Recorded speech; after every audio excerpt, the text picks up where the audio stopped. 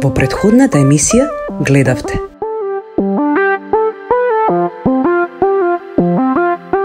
Пред 33 години кога беше поплавата и овде беше силно невреме, вечерта ми падна оджакот, почеа да паѓат плафони од озгора, пошто е трска, маутер. Па, како и сите останати, најпотребно ни се општите услови за живот. Значи, работа, да имаме здрав кров, да не тече, да е суво. Како што ви кажав пред малку, човек не треба никогаш да губи верба. Јас денес не дојдов без причина, ја дојдов денес со причина. Да ви кажам дека вие наскоро ќе добиете сосема нов дом.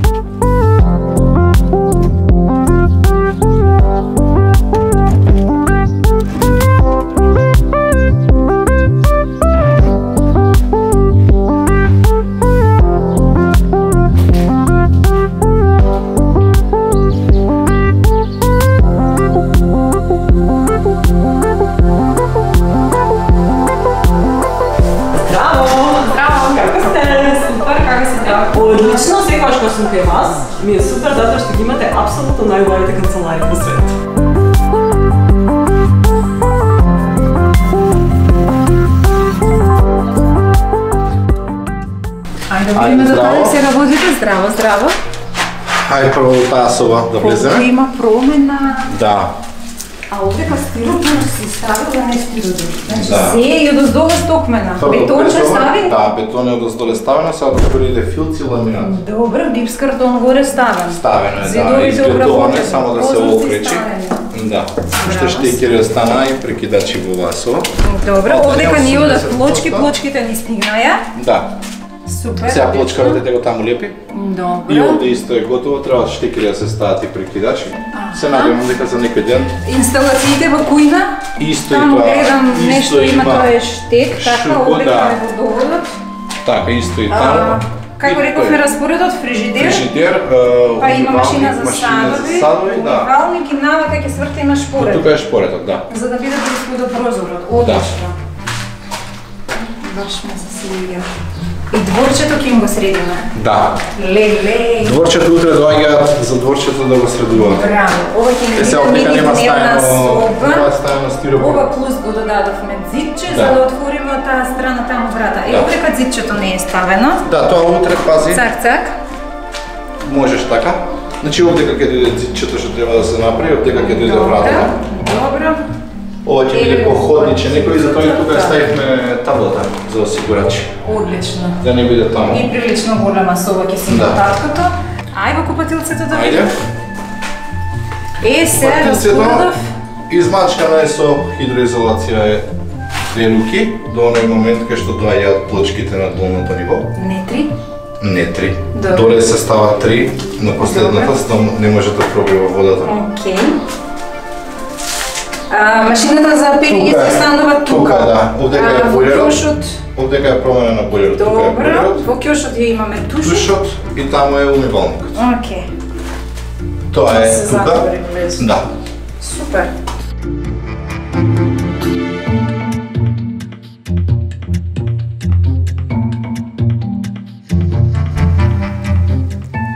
Нашиот плочкар вредно работи. При крај тоалетот, а при крај и терасата на куќата. Ја избравме портокаловата боја, бидејќи е боја на среќата, на убавината. А токму тоа ние сакаме да им донесеме во нивниот дом.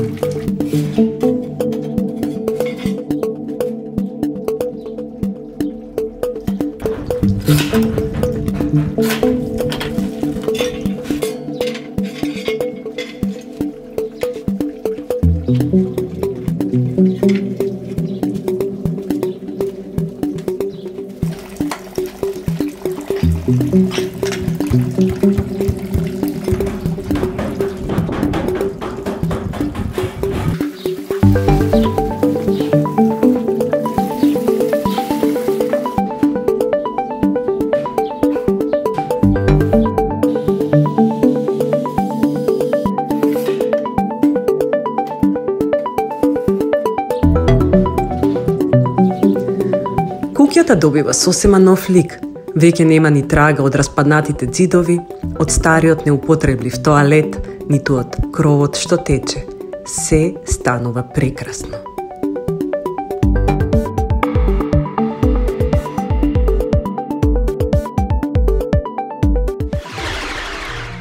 Како полега се приближуваме до крајот на оваа реконструкција, наред дојде дворот. Дворот не е полесен од другите делови на оваа куќа, бидејќи под еден е голем, а под два беше доста земјата беше доста запуштена, многу тврда бидејќи долго време не беше наводенета. А, и затоа се тука тимот на осигурување Македонија, односно поново Македонија осигурување, да ни помогнат. Тие дојдоа екипирани а, во голем број, со растенија, а, со добра волја, со многу желба и уште рано рано дојдовме овде и работиме сите. Може да видите и самите дека а, ова не е лага, дека вистина работиме и се надевам дека на крај ќе биде добар резултатот, дека ќе имаме прекрасен двор и дека кога Сашо и Андреј ќе дојдат, ќе паднат у несвестот дворот.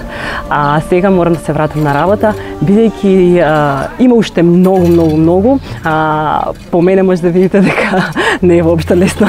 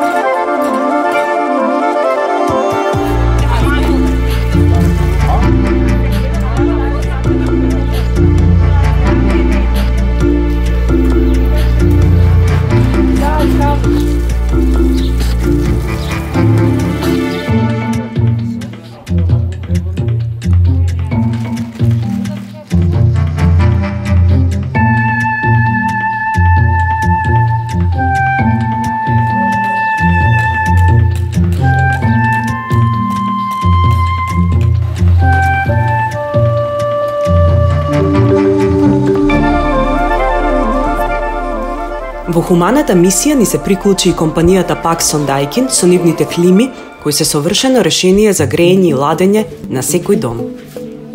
Тие нудат енергетски ефикасно, одржливо и обштествено одговорно решение за секоја куќа. Благодарение на нив, Сашо и Андреј нема повеќе да се греат на дрва. Домот ќе им биде секогаш топол, а планетата ќе биде благодарна бидејќи повеќе нема да ја загадуваме. Нашата цел е во секој дом каде што ќе работиме да спроведеме еколошко решение за грејење и ладење. И со тоа да ја покажеме не само нашата хуманост, туку и обштествена одговорност кон планетата Земја. Паксон Дајкин и нивната екипа за час ја завршија нивната работа. Најпрофесионално. Ви благодариме, наши пријатели.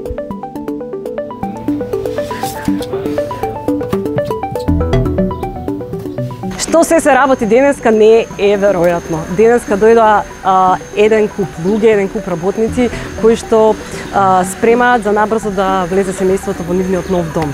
Денеска овде е екипата на Паксон Дайкин, кои што ја донесоа најдобрата клима во светот.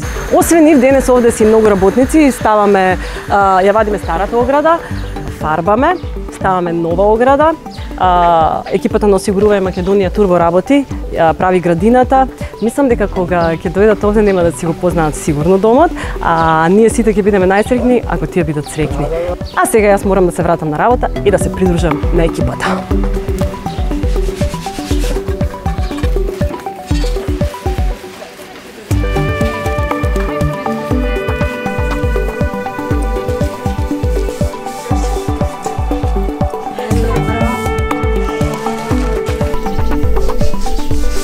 Кога, кога ја почнав идејата за овој серијал, си ветив дека во секоја емисија ќе учам некоја нова работа и дека до крајот на серијалот ќе знам да работам скоро се.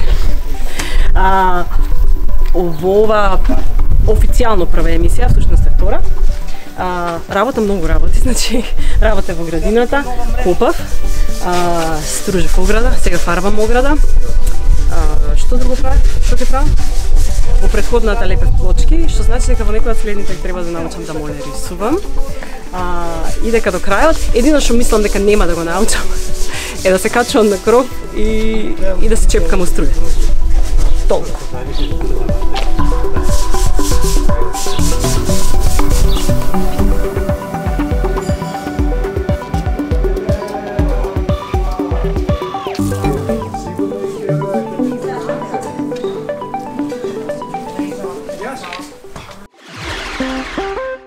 Еден од најбитните сегменти во секој дом е белата техника.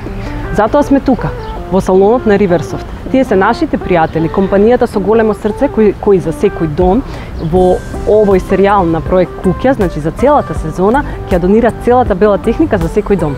Riversoft не само што се компанија со големо срце, туку се и ексклузивни увозници за брендот Vox. Имаат салони во Кавадарци, Кочани, Струмица, Штип и Куманово. Имаат сервис во секој град.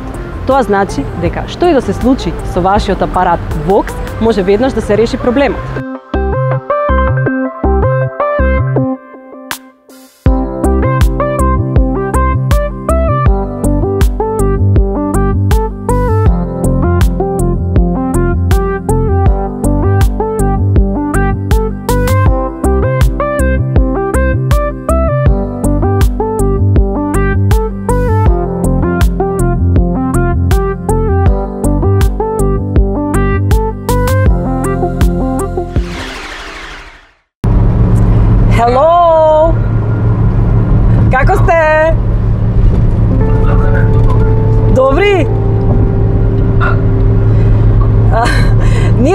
Сати работиме и знам дека сте стрпливи, значи работиме многу напорно на а, вашата куќа и наскоро ќе биде.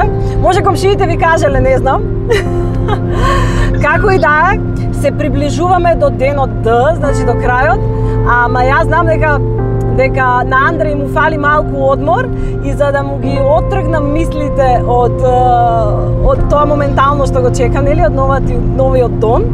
Сакам да му кажам дека од утре е, може слободно да оди на Аква парк да си одбере друштво и да си ужива а, три дена поред. Може, Андреј? Се сложуваш? Се гледаме Андреј на Аква парк. Чао, Сашо. Чао.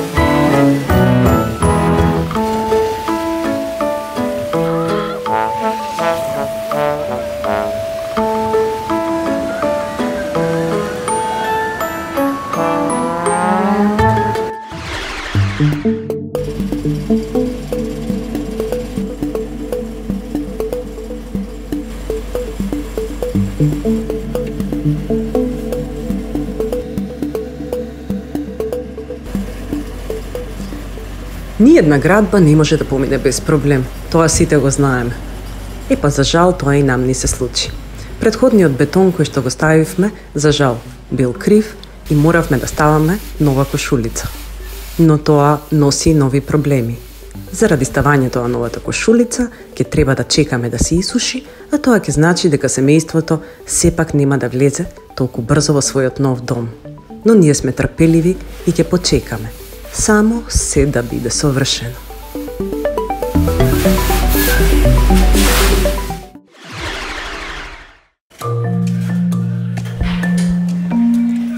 Нашиот плочкар вредно работи. При крајето алетот ја избравме портокаловата боја, бидејќи е боја на среќата, на убавината. А токму тоа ние сакаме да им донесеме во нивниот дом.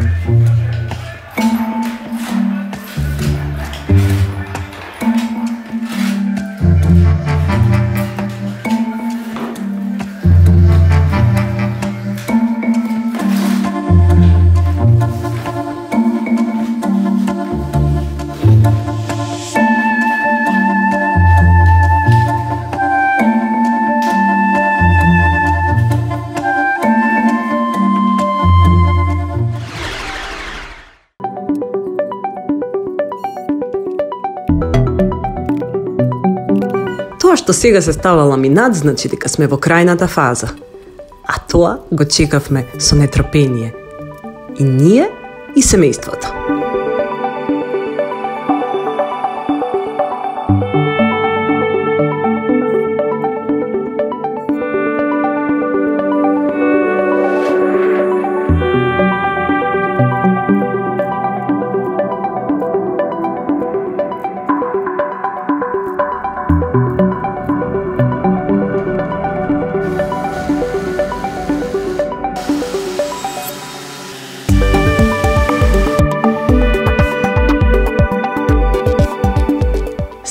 Нашите пријатели од Мебел Ацевски, кои ја монтираат новата кујна. За прв пат, Сашо и Андреј ќе имаат вистинско место за готвење и за уживање.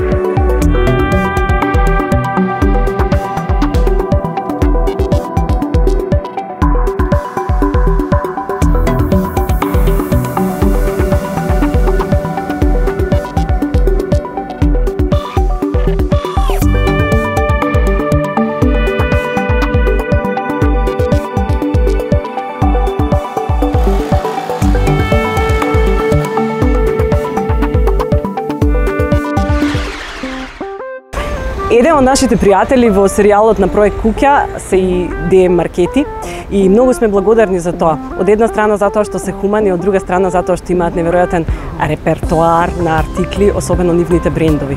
Денеска овде сме договорени да се најдеме со Андреј и заедно да испазаруваме се она од козметика и од хигиена што ни треба за нивниот дом.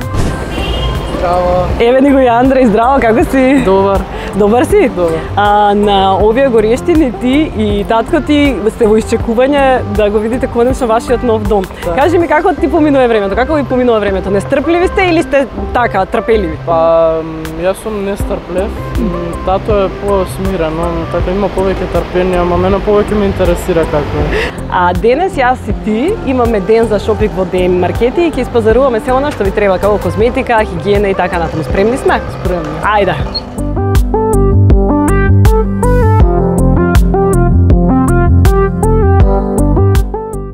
Ајде да си земеме сега колички. И почнуваме во еден од, миле, од омилените наши делови. Ти сакаш шопинг, не, не, нема кој не сака. Да.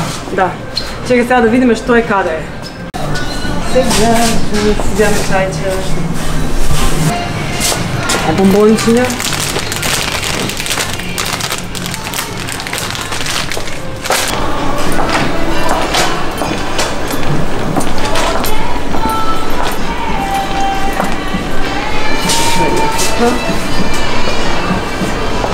Валеа. Користи некој нешто, еве. Чекай, ќе земеме свекички. Ја многу сакам свекички, сакаш? Да. Го обожавам. За е, еве ги прашуци, печен дет- дет- детержент за бели јалишта. Шарени јалишта, земаме за шарени. А, овие се нови. Шарен. Дека за бели да видиш? Сега тие се забере. Така. Сапо за црнување флеки во спреј. Ова е топ. Еден. Ладно. Не е бел. Ајде бел. Еве ги, ги најдовме. А, супер. Сега бараме Razer гел. Ова е за гел за бричане, така? Ќе Земе две различни. Кофти се белците. Да си има. Това е гел. Така? Ова е туалетна. Нема веќе оние за бришење. Тој баш ти кажи војна. Тако, повелете, господин Андреј, чистење по вели. Повели? Еве го ламинатот. Еве го. Изгледа дека земавме се и дека количките не се полни и дека тука во ДМ завршивме. Ви благодариме ДМ, а ние сега одиме на а, мало разладување, бидејќи е топло, ќе одиме на Совчи на сладолет и малку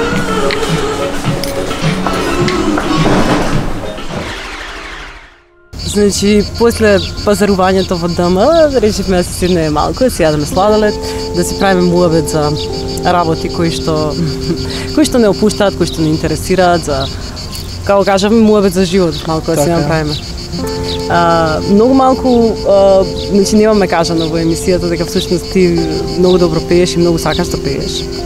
И добро го правиш тоа. Јас сум те слушала често и баш онака ми се допаѓаш. Ми се допаѓа тоа што тоа го правиш од срце, од љубов. Кај се имаш настапувано? Па, имам настапувано повеќе школски фестивали во Скопје. Имам настап... имам учествувано во хорот на моето основно училиште. Во 2017 година, ете, таа преголема желба, настапив и на Неки нови клинци. Тоа е под, на гранд продукција. Така? Каде стигна таму? Па во бараш искочив во прв круг, но без разлика до кој да стигнав, тоа е голямо животно искуство што ќе памтам цел живот. Секако да. Да. Ја ти препорачувам да не се откажуваш од својот сон. Кажи ми воопшто за живот. Значи ти и татко ти сте сами колку време? Па Па, од секогаш. Од секогаш? Да, јас сум- од моите најрани сеќавања, се сеќавам само на него, на тетка ми, со кој што нив пораснав исто и тетен ми и браточет ми, само не се тие најблиски кои што секогаш тука биле најблиску со мене. Секогаш недостатокот на еден родител, човекот има потреба да го замени нели со со некого. Која била таа женска фигура која што за тебе била тука цел живот? Па, на која што ти на пример сакаш да, Да. се заблагодариш? Тетка ми, јас сум и благодарен за се што направила до сега и за се што прави од сега, иако е, да бидеме реални немала потреба на тоа го прави, но ето таа е некоја некое женско чувство, некое женско сетило кое што знае, мислам, исто е тешко и на нејзе и, и она има исто дете и знае ко, која е пример таа болка и која е тој недостиг на љубов на едно дете. Кога да, кога не Да, кога нема. Она секогаш беше тука и тато, исто и тетен ми многу се грижеше и он за мене. Си имал среќа што имаш такви прекрасни Да, околу тебе. никогаш не, не ме оставиле, пример, да се осетам, сум доста некоја празнина или да осетам дека нешто фали. Да, нешто. Дали ето за почеток на година, дали за роден ден, дали за било што, дали облека. Мислам, нивниот дом секогаш ми бил како втор дом. Има некој момент кај што а, вистински ти не достигла таа ете мајчинска топлина фигура. Па, со оглед на тоа дека не сум живеел со нејза, не сум се гледал со нејза и не можам да кажам да, зашто не знам како е таа мајчинска љубов, но ете секогаш била тука тетка ми која што дала ете некој одреден дел за да не осетам пример празнена празнина од другите. Значи секогаш сум се чувствувал па делумно подеднакво како и сите други. А, многу ми се допаѓа што си толку зрел за твоите години, бидејќи ние се знаеме од проект Среќа. Ти си дел од проект Среќа, од детското драмско студио беше дел од проект Среќа. Знам колку многу посакувавте да имате нов почеток. Така. И а, знам колку тоа многу ви значи. И затоа сум среќна што имаме една ваква можност да направиме нов почеток за вас. Искрено се надевам дека ќе бидете среќни во новиот дом а, и дека наскоро ќе се видиме кај вас дома на, на кафе на муабет и дека ќе правиме еден друг муабет, значи среќен муабет. Мада вие ти никогаш не си бил тажно дете. Па не. Секогаш си бил многу отворен. И ти посакувам многу среќа во животот, да бидеш ваков секогаш, никогаш да не се откажуваш, како што како што си всушност и да се бори за она кое ти припаѓа и за местото во светот. колку повеќе веруваш во себе дека еден ден ќе успееш, тоа и така ќе биде. Ако стварно нешто сакаш, ќе го добиеш. Ти благодарам за овој многу убав муавет, за овој убав ден што го поминавме заедно. А ти одиш а, дома, а јас одам да видам до каде се работите во, во вашата куќа, бидејќи за само неколку дена се враќате дома. Се уште нема да ви кажам кога. Добро ќе ти кажам.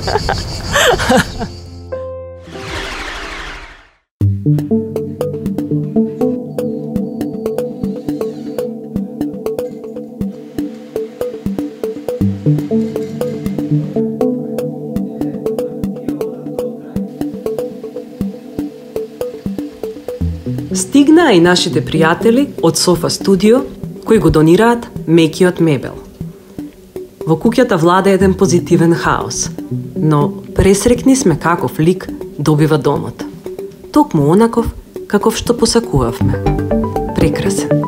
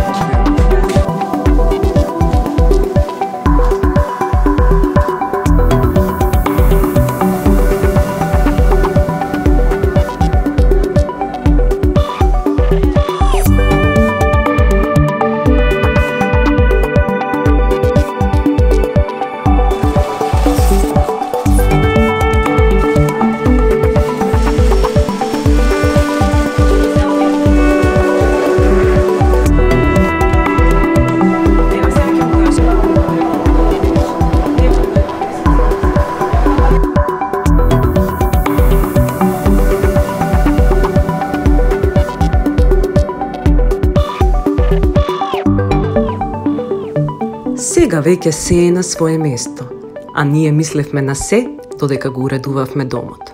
На свое место се и книгите, хигиената, козметиката, се она кое што му е потребно на домот е веќе внатре.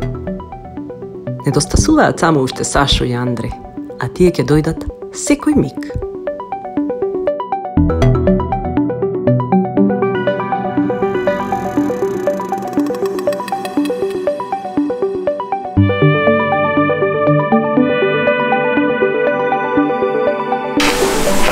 Овде сме на последната фаза од припрема на куќата во Усие и а, секој момент треба да стигнат Андре и Сашо и цело време се случува нешто во последен момент, работата не е завршена.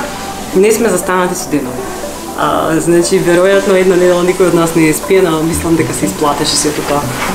Ме прашуваат како издржувам со ова темпо моите пријатели, а јас им кажувам дека никогаш не пропуштам да ги спијам моите витамини од Джеймисон. Ете така. А, сега мораме да продолжиме, имаме само уште половина час и тие доаѓаат. Имаме уште малку работа да завршиме и секогаш ни фали уште малку време.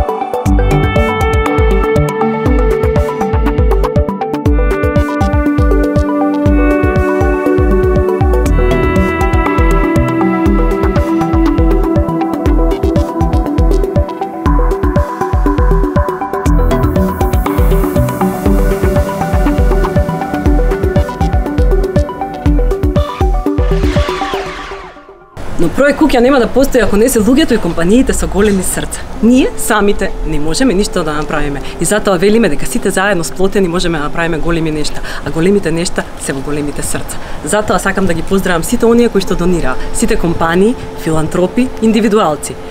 Ви благодарам од срце на сите. Заедно можеме да направиме големи, големи нешта. А сега ги, ги чекаме Сашо и Андре, кои што треба да пристигнат во секој момент Јас сум веројатно како и секогаш повозбудена и од нив. И значи тоа е тоа во овој топол ден. Очекуваме да видиме дали ќе си ја познаат куќата. Овде сме пред куќата, каде што е дел од екипата која што работеше на куќата и дел од пријателите на Андреј. Сите сакаме заедно да ги пречекаме, да им направиме големо изненадување, да им кажеме дека на вистина со голема љубов го работевме ова и на вистина им посакуваме со многу многу љубов и среќа да си имаат нов почеток во нивната куќа. Ние чекаме, нив ги нема уште.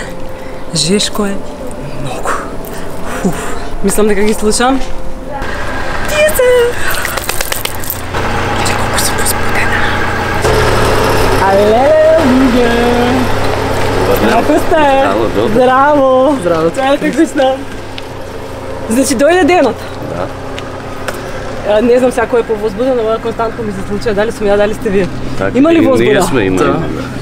А, многу, многу сум среќна што можам да ви кажам дека завршивме и дека вашиот дом е спремен за вас да влезете, да ги видиме вашите реакции, да видиме дали ги ви се свиѓа и да се живеете во него со многу среќа. Повелете во вашиот Добар ден, нов добар дом. ден. Добар ден. Здраво. Добро дојдете во вашиот нов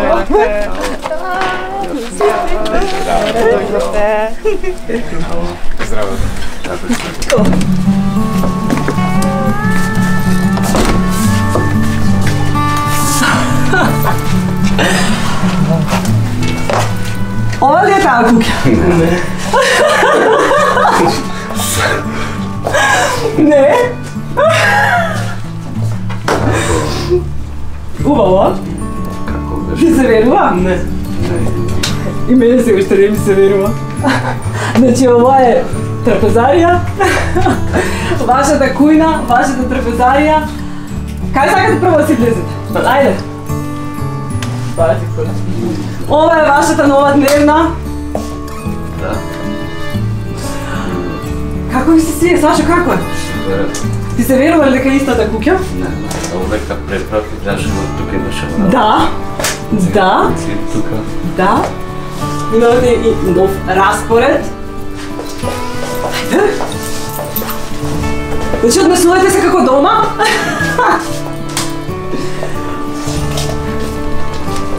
вашиот нов тоалет. Супер. Супер. Ве побојивме. Да. Да.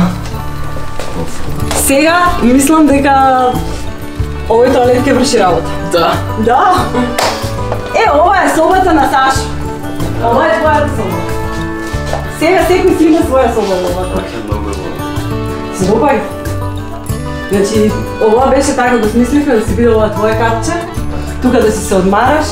А, многу е пријатно, морам да признам дека Да. куќата е многу ладна и пријатна и убаво окружување. Јас се надевам дека да вистина а, стварно ќе можеш да се одмориш после твојот Многу е да.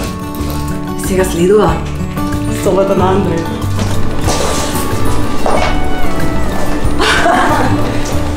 Што ќе кажеш?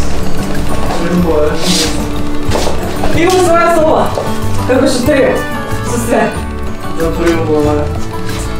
А, има уште едно изненадување. Имаш нов лаптоп. Следни часови. Така можеш да си следиш часови од нов лаптоп. Фала се многу че. Фала ви вашите сте прекрасни. А, Сашо, тебе како ти се свива Супер. Супер.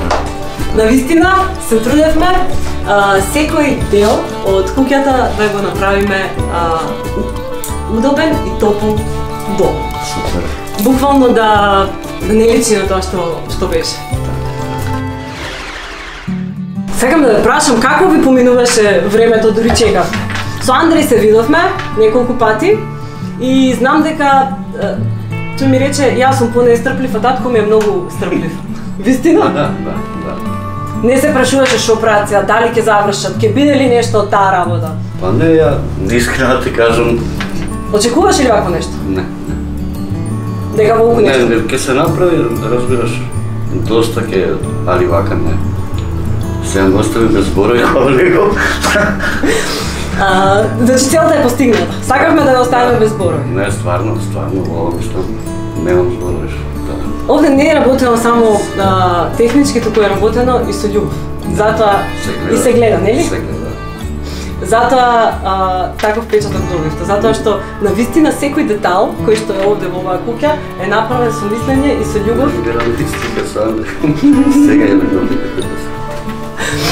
А, јас би сакала да да ме прашам, што мислите овој нов почеток? Што ќе значи ова за вас сега?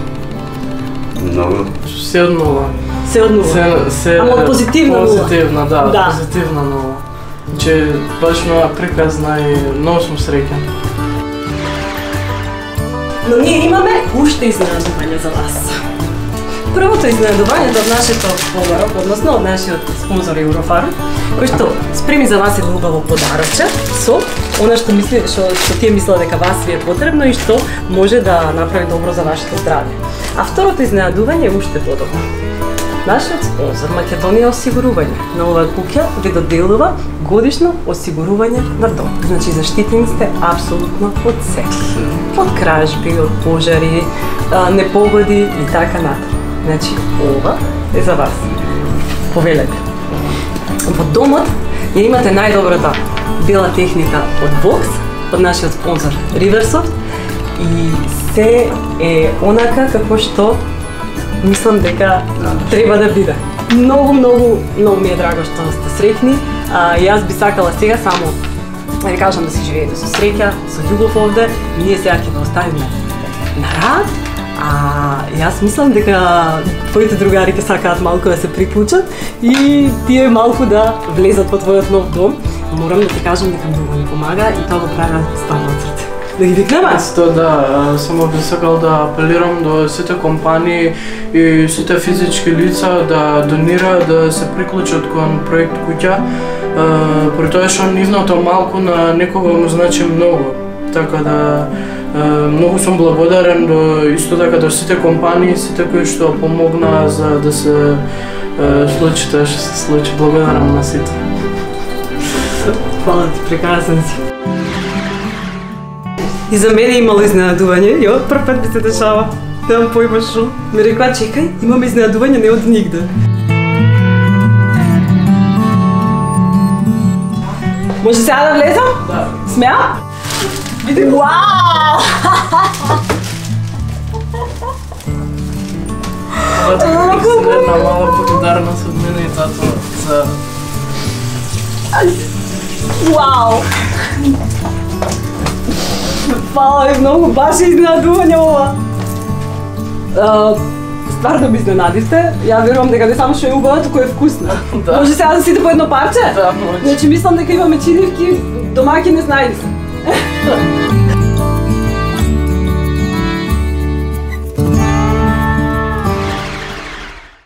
Сега може да ги оставиме да се живеат. Во среќа и љубов со нов почеток.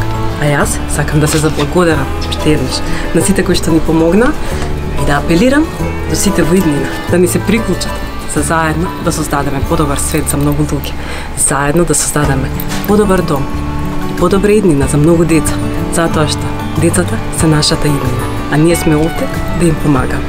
Затоа што семејството е клетката на општеството. Затоа што ние заедно можеме да направиме огромни нешта. Бидете дел од проект Куќа и гледајте ја следната емисија.